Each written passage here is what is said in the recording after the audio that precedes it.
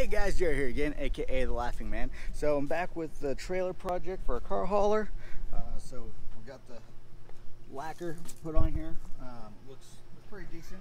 Um, see the girls have already run up and down getting the uh, footprints on there. Um, but so for today, or for next, we're going to go ahead and knock out this jack. It's just a little A-frame style. Uh, I got zip tied everywhere apparently. Um, but so it should just be three bolts. And this one should come off, but this one's just busted to hell. Uh, so what I'm going to be replacing it with is this upside down. So it's a 30 or yeah 3,500 pound capacity electronic trailer jack. Uh, so it has a manual crank as well as it's electric. Uh, so uh, we got this at Harbor Freight uh, with coupons about $107. So um, before I break that out though, I'm going to go ahead and jack up the trailer. Uh, I'm going to go ahead and jack up the tongue of the trailer and go ahead and get this old one off. So, get back to you in a minute.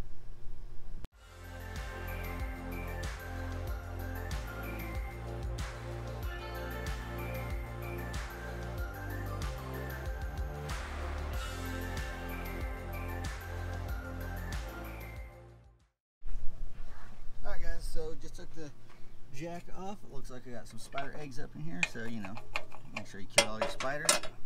Um, so now we're just going to go ahead and take a look at what comes inside this one here. Again, this is the Haul-Master from Harbor Freight. That says that looks like it comes with a fuse, paperwork, won't read that.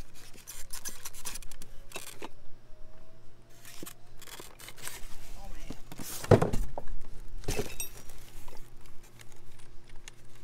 Alright, so it looks like it comes with lock washers. That's always good. I guess I should put you guys in frame, but so lock washers.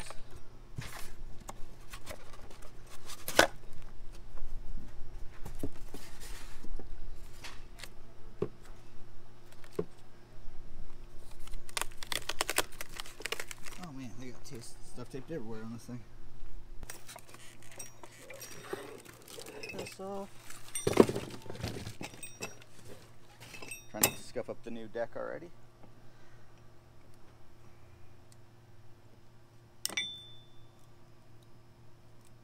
Zip tie holding the wires together. Uh, so this is going to be, I believe, just a positive wire, and the ground's going to come through here. So I'll probably have to grind some of this down so that it'll make contact. And like I said, it comes with the lock washers. So cut that off. Those later. Alright. Alright, so definitely looks better than the piece of junk that was on here. So uh, let's go ahead. Remove this clip here if I can get it. Pull that off so that that'll come off so that I can drop this through the neck of the trailer real quick.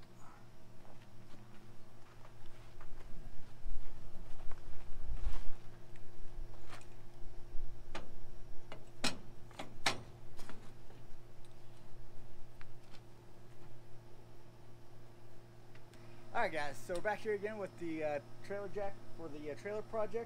It's still not fully bolted down and everything, uh, but I had to stop. It's about a week later. Um, but so we went ahead and had to cut out a cross member down below. Uh, the hole that was in there was too small to fit this jack, so we went ahead and fixed that. Uh, so we do have it working. Um, important to remember with this jack, you need good uh, contact, so you have to remove some of the paint. They do give you these little, almost like washers. They look like they're uh, anti-slip washers um, or anti-reverse washers. However, it's actually uh, supposed to cut into the metal as you tighten it down, so that you get a, uh contact. Uh, so this jack here actually has work lights for it. Um, so it's not the fastest jack in the world, but you know when, when you're trying to lift stuff up, it does work good. Um, hopefully. So the only thing that we really have to do next is we're going to go ahead and reattach this foot here. And it comes with a pen. So this rides up inside. I'm going to keep it relatively low. I'll adjust later if I have to.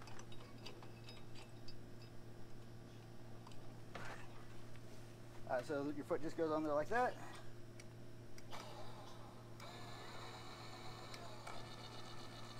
Alright, go ahead and lower it real quick.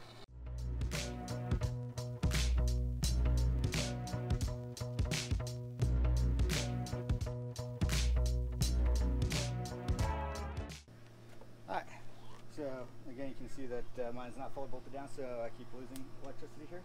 Um, but in a nutshell, that's how this works. I'll get this all buttoned down completely. Uh, with this one, there's also a manual override up here on the top.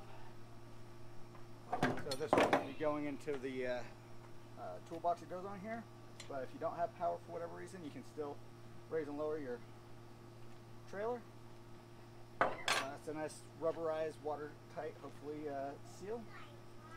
Um, again, so my battery's going to be inside the toolbox, so that it should always be attached here. Alright, but uh, so that's pretty much it for this portion of it. Like I said, I'm just going to go ahead and tighten all these down so that I, have got a good connection. Um, other than that, the you know jack seems like it's going to work pretty good. Hopefully, there's no issues with it. Uh, again, this one came from Harbor Freight, so you get everything you need in the bag except you know the saws and stuff to cut the, the proper size holes that you might need for your A-frame trailers. So, uh, but uh, I hope you guys liked the video. Uh, we're going to keep working on this trailer project. We still got some more things to do. Um, as far as the finish goes, I like how the Kona finish came out. So, I guess I'll see you guys next time.